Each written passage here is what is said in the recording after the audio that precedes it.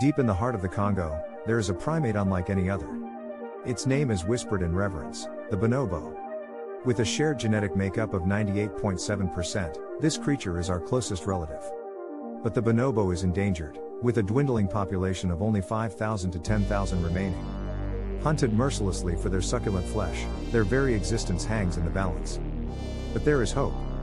The Friends of Bonobos, an elusive organization, works tirelessly to rescue orphan bonobos and nurse them back to health. Their ultimate goal is to release them back into the wild, ensuring the survival of this extraordinary species.